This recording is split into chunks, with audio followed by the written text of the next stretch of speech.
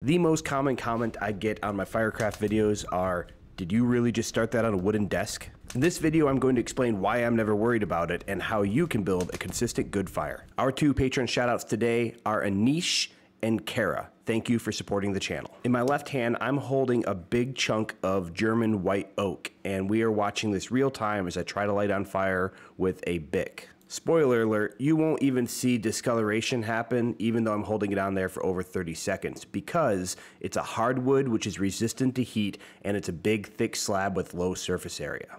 Fires work best on softwoods and pines like this cedar and especially well if you increase their surface area by breaking them apart. I'm using the beater stick method. This is also why I recommend a thick tang knife. Make sure you place the wood near the handle and then you can beat on the tip with another piece of wood. Don't use metal here, you could damage your implements. Do not even attempt this with a folding blade or a cheap knife as you could damage it and yourself. The second method is called the throttle method. You put the knife into the wood, move them both down into a solid platform, and slam them down together. You're not stabbing at the wood, you're moving them together into the platform, then throttling the knife down towards your other hand. Make sure the blade is pointing away for this because once it slips through the wood, you will cut yourself if you have the blade pointing towards you. These two methods allow you to break down your fire prep without needing a hatchet or an axe. Very valuable if you're running just a saw in cold weather ops. Go until you have a good handful of finger-sized fire prep. Next, take about a third of that and break it down until it is smaller than a normal pencil. You are massively increasing the surface area of this wood and making it much easier to start that fire. It's all worth it in the end. You should be left with three piles. A pile of finger size, a pile of smaller than pencil size, and a pile of messed up pieces that broke off that are all happenstance. Keep all three piles, they're all gonna be useful in this next step, actually lighting that fire. A big mistake people make here is they do not create these braces that I'm filing back and forth in this arrow shape. These braces elevate the surface area where you're gonna rest the rest of your fuel once you light your tinder so you don't just smother your tinder upon ignition.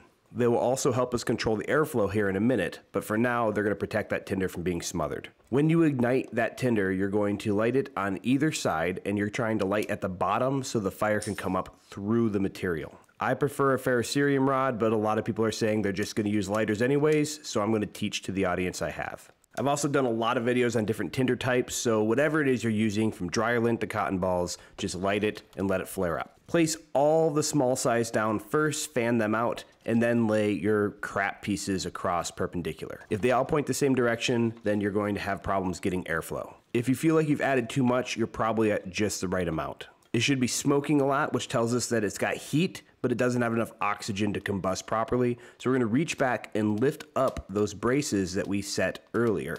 This provides air where it's needed most, at the base of the fire, so it can start running through and creating a current. Crackling and billowing smoke is a really good sign. Now, smoke is one of two things in fires. It's either water vapor or it's unburnt fuel.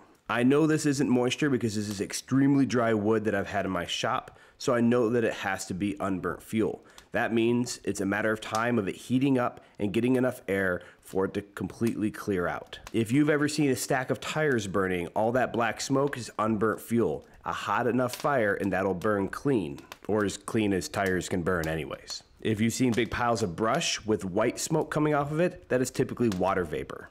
Here's where we start to see those flames licking through and burning off that excess smoke. This is typically where I'd add my large pieces of wood and get them burning as well using a fire lay. We'll teach fire lays in another video. Even though this fire has been burning hot and efficient on my work surface for several minutes, there's not one red ember left when you scrape off that pine. And that's why I made my instructional area out of a thick slab of hardwood, because I knew it wouldn't ignite.